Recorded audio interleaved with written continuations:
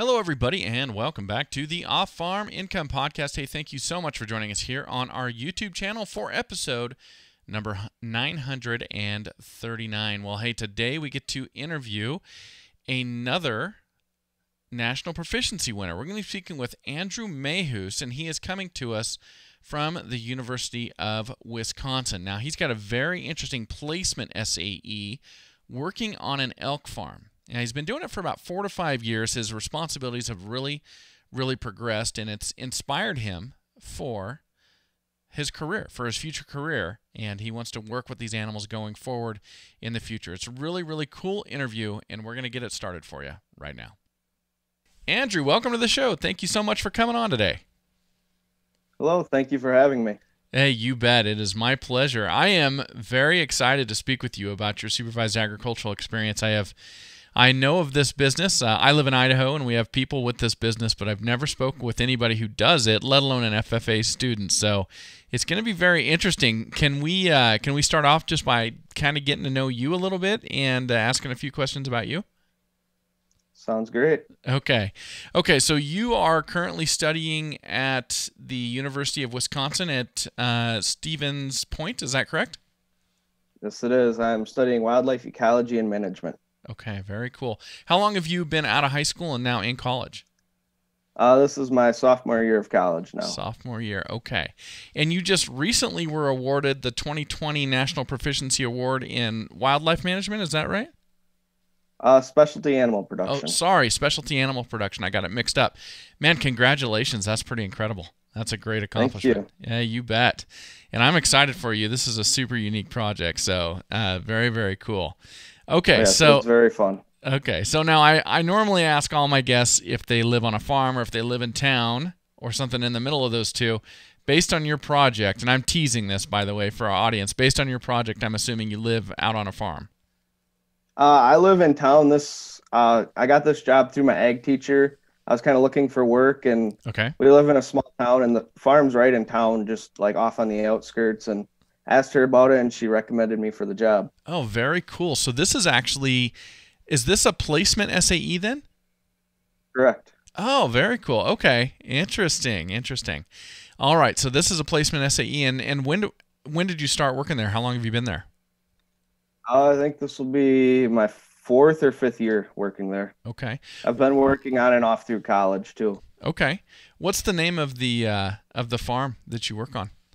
I work on Neitzel's Village Elk Farm. Okay, so you've been there for did you say four to five years? Yes. Very cool. I got the job after freshman year of high school. Okay. Okay, so you live in town, you're working out on that farm. What got you into the FFA? Uh, my mom was really big in the FFA throughout high school. And like when I was joining in seventh grade, she recommended I had seen her plaques at my grandpa's farm and kind of always wondered what it was. And you know what like how she did and what like everything was with FFA. So I was really excited to join and then got really into it throughout high school and did a lot. And okay. I really enjoyed that. Yeah, very cool. I see that you wound up as your chapter's president. I did. That was my senior year. Um, I got voted in as president, and it was a huge honor. I was the first president who wasn't a returning officer ever. Oh, really? Um, for our chapter, which was a big honor that I was trusted with that responsibility by the other officers. And um, we did a pretty good year. We had our record um, fruit sales, so that was really cool to lead. Awesome. Awesome. So that's that is a big honor. So what was the situation that that propelled you into that position? You know, in an unprecedented fashion like that. Um, I just kept running for office. I hadn't got in the year before that. Okay. So I kept running, kept trying, and um, my friends all recommended me as president because um, they said I had really good leadership skills. I had done other, um, I was president of my 4-H for multiple years, so mm-hmm. I'd run an organization similar, and they thought I'd do a good job, so they voted me into the position. Okay, so persistence. Yes. good for you. Well, that's awesome. I'm happy for you. That's that's very cool. And then uh, you chose to go to the University of Wisconsin Stevens Point. Is that close to uh, Fountain City, Wisconsin? Um, it's about three hours away. Three hours I'm away. Mid, middle of Wisconsin right now. Okay, and so you're able to maintain your job at the elk farm, uh, even being three hours away. Um, I'm not there a lot right now, but on breaks and when I'm home on the weekends, I'll go over and help Okay. um feed the elk. And if um last year when we started our Corona-cation, you know, right. um my boss had to have knee surgery, so I took over a lot of responsibility then, um, being the main one feeding and having someone else help me do the feeding and where he was not able to. Okay, got it. So you're able, so they understand you're going to get your education, and they understand, but you're uh, able to go back and work when it's when you're available. Yep, one of my friends kind of took over my position there and helping feed and everything on the weekdays and weekends.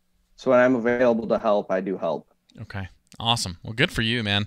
That's great. Well, let's do this. I always love to acknowledge our FFA advisors on the show. How many did you have uh, there at your high school? I uh, we had one advisor through all the years I've been at high school. She's been at, my high school for I think 20 some years or more now. Um, she's a great advisor, Christine Jumbuck, Um, an amazing advisor for our chapter. Awesome. Well, thank you so much for mentioning her. Let's talk about your supervised agricultural experience. So, obviously, it's working on an elk farm, but there is a lot of detail that goes into this, I'm sure. So, uh, let's start off like this What are your responsibilities there working with elk? Um, so when I started out, I was mostly opening gates and like trying to keep the elk in the um, pens and feeding. As I got uh, more experience, I started with the feeding, actually driving the machinery. We uh, feed large square bales to our elk, Mm-hmm. um, and then grinder mixer. We use an oats and then protein pellet combination, which they eat. Um, and then as I started getting more and more experience with it, we started. I started helping with the velvet production and cutting Okay. which is our main business, along with selling animals here and there to uh, um, meat production. Okay. Interesting stuff. So, as you started off, you were just handling gates. Uh, why was it, I guess, to be able to feed? Why was that as you got more experience? What was it you needed to learn to be able to do that? Um, growing up in town, I'd never really driven a skid steer or a tractor or any of that, so I didn't know how. So working through on the job, I got to learn more and more, and they slowly taught me to drive the skid steer and tractors. And uh, after I kind of learned that, then I was able to take on more with the feeding. Okay. Now, when it comes to your gates and your fences, how tall do they have to be to be able to keep the elk in? Um, our gates and fences have to be at least eight feet high. Um, the elk can jump pretty high, actually. So you have to have a lot taller fence than with a cattle because Mhm. an elk will jump over it. We have to have um, telephone poles as most of our posts Wow. because the elk will snap posts over. Hmm. Um, they're very strong, and when the bulls are shedding their velvet, they need to rub their antlers right. To clear that off. So they'll shove over posts when they're doing that. Okay. And are these Rocky Mountain elk that you're that you raise there, or is it a different variety? Uh, they are. They are a strain of Rocky Mountain elk that um, we've slowly accumulated more and more over time. mm-hmm. After the initial buying, um, I forget what year the farm started, but after they initially bought the elk, um, we haven't really brought any more elk into the farm. Mm-hmm. It's just been um, inbreeding and building up a herd that way through the cows that we have. Got it. Okay. And do you know how long? Uh, I'm gonna try and pronounce it. Netzels uh, Village Elk Farm. How long has it been in existence? Um, they've been in, they've been running uh, elk farms since uh, I think it's been over 20 years. I know that for sure. I think it's like 23 years or so. Oh, very cool. Now, uh, so Rocky Mountain elk, eight foot fences. What is the main product that uh, that they're raising the elk for? Our main business is the velvet production. So the minerals inside the velvet um, get used in a lot of different pills and supplements. Um, so about half, two thirds of the way grown of the velvet, because each year they regrow their antlers. Mm-hmm. We cut off the antler like um, almost like a tree. So you get just a little um, stump that's left. We call that a button. Okay. Um, we cut, then we freeze that velvet, and the minerals and all that inside is ground up and made into different pills. Um, they help a lot with like muscle tears and things like that. They help with the healing because the minerals in there are good for um, like growing new tissues Mm-hmm. and also like getting more blood to an area. So that helps a lot patching um, injuries. And then also, I know is recommended after cancer treatments. I think I read one place um, to just help with the blood flow and like expanding muscles. It also, I know, I think helps with uh, arthritis. Okay. That's interesting stuff. So, do you have to remove the horns then before the bulls are able to rub off that velvet? Yes. So about two thirds of the way grown, um, we'll cut that antler off. We do keep some bulls around to kind of show off as show bulls, and then also to grade, like if we're gonna switch herd bulls Mm-hmm. um, for our self breeding. But we cut, mm, I'd say 95% of our bulls, and all that is left is about a two inch stub of the velvet after it's cut. Okay, very interesting. Now, is there is there other sidelines going on for revenue development on the business? Like, is there any agritourism or anything like that? People coming out to look at the elk? Uh, we don't have a lot of like we don't do a lot of that. Like people will stop on the side of the road and look at the bulls and Mm-hmm. kind of look over because we are a very unique business, especially in Wisconsin. Um, but no, most of that, and then we do sell some elk for meat. Um, they sell pretty good, two to three dollars a pound for hanging weight Okay. on average, I'd say. Okay. Yeah, very interesting. Two to three dollars for hanging weight. Uh, so, uh, obviously, your your main product is coming from the bull calves. So, when you have a when you have a female uh, calf, what do you do? You do you just raise her for meat? Do you raise her to be a replacement? I don't know. Do we call elk, young elk females heifers? I don't know if we call them that or not. Um, they're heifers up until they become cows, so it's bulls and cows that we have on the farm. Um, we raise all the cows up um, till to breed more, so that way we can keep our numbers up. That is how we expanded our herd. We are a closed herd system, Okay. so we don't sell animals except for uh, meat production, Mm-hmm. and other than that, the, all the elk stay on the farm. Okay. Um, so each cow is raised to be bred, and then we also bring in semen so we can keep that gene pool up and Uh-huh. not have uh, genetic suppression throughout the herd. Okay, got it. I was wondering about that. matter of fact, that was my my next question. So you beat me to the punch. Very good. Uh, okay, so you've got the elk. Uh, you're using AI now. When it comes time to AI and elk, or when it comes time to remove antlers, what kind of equipment do you use to to control them? Uh, my boss actually designed and built. He owns a metal fabricating shop in Winona, Minnesota. Um, to design, and he built his own chute that runs on hydraulics. Mhm. It grabs the elk around the midsection, and then has two arms that come and squeeze around the neck, and then we can lift that elk up so they're kind of off their feet more, so they can't throw themselves like throw their body weight around Okay, and move and damage anything because we can't use like a normal cattle chute right, because with the antlers we can't fit them through that. right. Yeah, so that's interesting. So the way he developed the chute, obviously, the elk can walk into it without the antlers hitting on anything. and Yep. then it can grab a hold of them. So then, what kind of an alleyway do you use to get them into that chute? Uh, we have a shed that's set up completely with six different like sorting pens. So we bring all the elk in and then we sort out bulls because we don't all cut our bulls at the exact same time. Okay, It's kind of over a month process. We work every Friday and we'll cut a couple elk that are ready and then the rest go out to pasture to wait another week. hmm So it's kind of a process to determine then. So we sort them out in these little, I'd say 10 by 10 pens with swinging and sliding gates that we can move elk in and up. And then we bring them into the chute, um, tie them down with two harnesses to each side, lift them up in the air, and then we can cut. And then the back has a gate that opens up so that we can reach in for AIing. Okay, got it. Now, when I've uh, dehorned in the past, and I've only dehorned cattle, uh, but when we've dehorned mature cattle and they've got they've got horns, you know, once you you cut those horns off, uh, there's quite a bit of blood, um, and so I'm wondering how that is with elk when you do that. Is it similar? Yes. So one thing is we're not trying to damage the next year's growth. That is that'd be a very bad thing to do for our elk, especially. Uh huh. But when we cut, the growing antlers are uh, basically a large blood vessel. So there's Right. no nerve endings or anything up in there. So when we cut that off, it is a very bloody process. Um, the elk do lose a little bit of blood.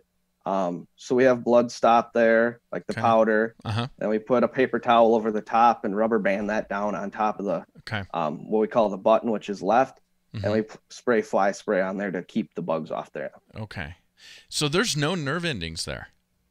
Nope, because these grow every year, so they don't um, wouldn't want to put nerve endings up through there because they drop off every year and regrow. Okay. So that'd just be extra cells that they'd have to put up through their antlers. Okay.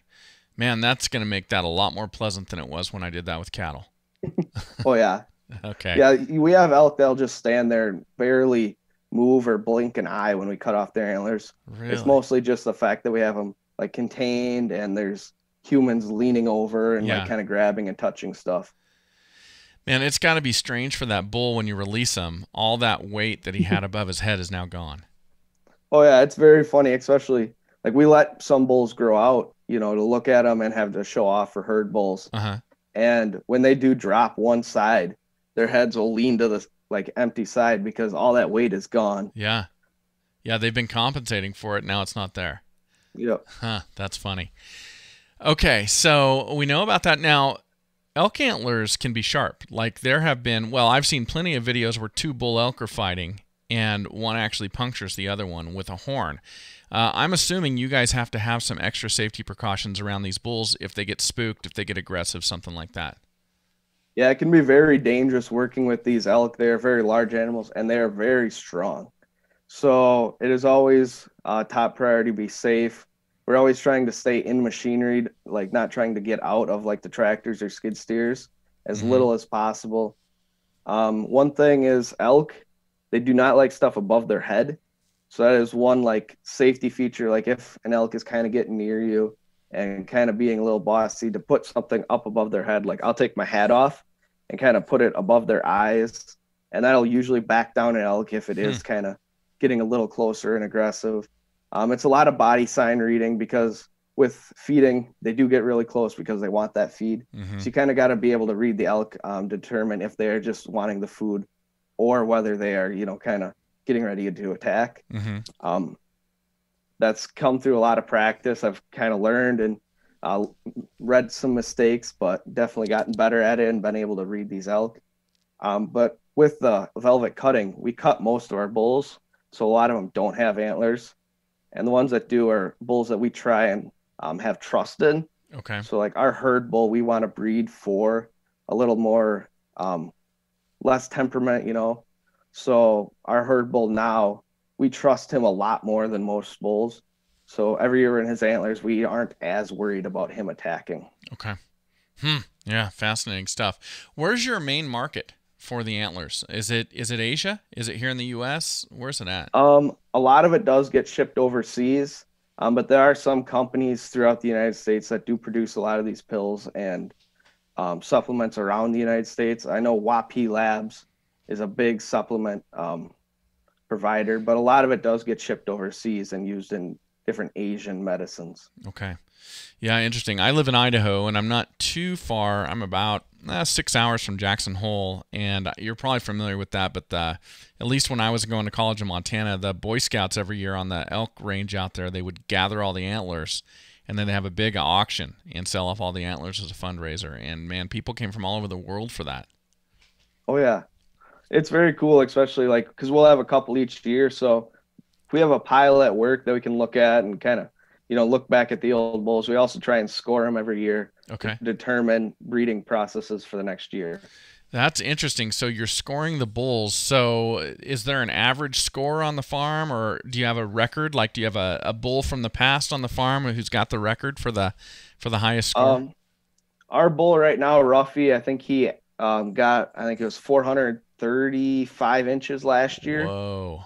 Which is a very big bull. Yes, but we're tr- my boss wants to breed for a 500 inch bull.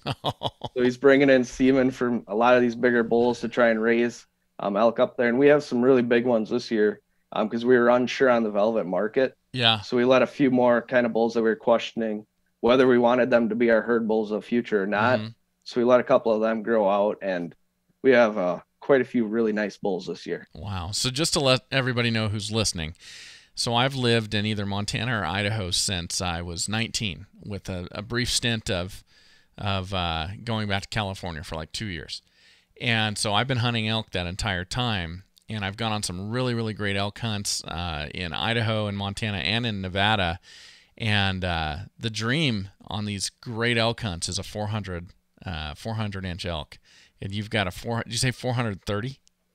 Yep. Wow, that has got he's got to be awesome. You got a picture of him Oh, somewhere? yeah. I can find some, yes. yeah, I'll, I'll have you send me one and we'll put it on the website. That'd be that'd be awesome. Wow, that's a big bull. Very cool.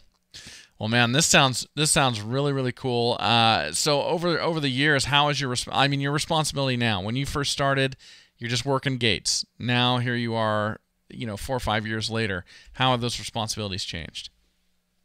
Um, I've gained a lot of responsibilities. I started out like that, but um, last year, especially when um, right before co- uh, the coronavirus kind of took over everything and shut mm-hmm. everything down, and like our car- college sent us all home for online learning. My boss had to have a knee surgery. He had to have a knee replacement. Mm-hmm. And when I went home, then like first the two weeks before that, I went home on the weekends and was helping feed because he couldn't drive tractor or skid steer. So I was mm-hmm. in there helping and doing all that. And so over that summer and through that that spring and summer, I did a lot more work. I was one of the I was the main person doing all the feeding versus being the helper. So I had like almost had a role flip from what I was doing. So I took on a lot of responsibility during that time, especially. Okay. Yeah, very cool. Well, so looking at your major, uh, which is wildlife ecology, I'm assuming that this job has inspired you somehow with what you're studying in college. Am I right about that? Of course. I mean, my dad works in the natural resources field. Okay. And I kind of always wanted to work something natural natural resources. But then starting this job with the elk, I especially fell in love with the elk and would love to work with elk in the future if I can. Mm-hmm. Um, I'd really love to work on the Wisconsin elk relocation project that's happening in Wisconsin at this time. Okay. Um, that'd be my like my dream job if I can, but I'd love to work with elk or another large animal like that. Yeah, that's interesting. What is the Wisconsin elk relocation project? Um, elk were basically hunted and like completely removed from Wisconsin. Okay. And they have slowly been reintroducing the herds. Um, they have two herds, right, main herds in Wisconsin right now. Um, there's the Clam Lake and the R- Black River Falls herd. Okay. And they're they allowed their first hunt two years ago now, and they're starting to build up the herd, and it's a really cool project. Um, so you can actually hear elk bugle hmm. in Wisconsin that aren't from like our farm. okay, uh, very cool. Now, were they introduced those elk? Have they had any issues with depredation from wolves? Uh, I do not know like entirely. I don't think they have too much of a problem with it, but I'm not entirely sure hmm. to be honest. Yeah, that's really interesting stuff. So that's your dream job, and you're after a, a four-year wildlife ecology degree, or are you going to continue on after that? Uh, four years for now. Uh, the future might, you know, prove sure. different, but as right now, that's the plan is four years. Well, that's great. Well, tell me about uh, winning this national proficiency. That must have been pretty cool. Well, it always like been my dream to compete at nationals at some in something. Um, I've come close before. I won uh, wildlife state, but wildlife did not move on. Mm-hmm. I've taken second in parliamentary procedure, forestry, and then third environmental natural resources. So I've been really close multiple times and was finally able to uh, win with my proficiency at state, which was an amazing accomplishment for me. I was extremely happy to just to do that. Then rework on the proficiency for months, mm-hmm. send it into nationals, and then it was amazing to get to um, hear about it on uh, the like Zoom calls that they did for that, mm-hmm. and then actually to win was just an amazing accomplishment for me. That's awesome. Well, hey, congratulations on that. Are you going to carry that forward? Are you going to uh, see if you can become an American Star finalist next year? Uh, I might look into it. Uh, I have to talk with my ag advisor and just determine if I want to try and run for that or not. Yeah, it's more paperwork. oh boy, that's always fun. Very cool. Well, Andrew, I'd love to get your advice for other students out there. I mean, you have obviously made the best of being in the FFA. You've been very active, very involved, uh, but not growing up in a traditional sense on a farm. What would you say for other uh, incoming freshman students around the country who maybe live in town, they don't live on a farm? Uh, what would you say to them about their opportunities through the FFA? I'd say just try everything you're um, willing to give. There's something in FFA that you're gonna find and you're gonna like. Uh, my ag teacher, she kind of recommended me for stuff. Uh, we had parliamentary procedure in the classroom, and she kind of signed me up and said, "You go try out for the team, like see how you like it." Mm-hmm. And I fell in love with that. That was my favorite contest to compete in. Um, so I fell in love with that just by a recommendation. I never would have thought of trying it. She recommended me for it. Um, extemporaneous speaking, I did that. She just rec- she just signed me up and told me to do it, and I really enjoyed that. Um, wildlife, just tried, and all of a sudden, like I'm winning state with that. Forestry, it was a backup plan because I'd won wildlife state, so I just tried forestry. I fell in love, and it helped me through college. um, in my forestry class. I learned already had learned a bunch of the stuff, so that helped me with the classes. So you're gonna learn stuff, and you're gonna like it. So just try and sign up and do it. Hey, that's great advice, man. Thank you so much for coming on and sharing this today. It's been great. Thank you for having me. Well, thank you for being here, everybody. Thank you to Andrew Mehus for coming on the Off Farm Income Podcast today. And as always, enjoy your journey to the ultimate lifestyle business, agriculture.